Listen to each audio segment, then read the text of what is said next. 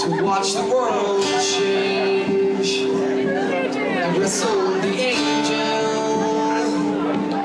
for more than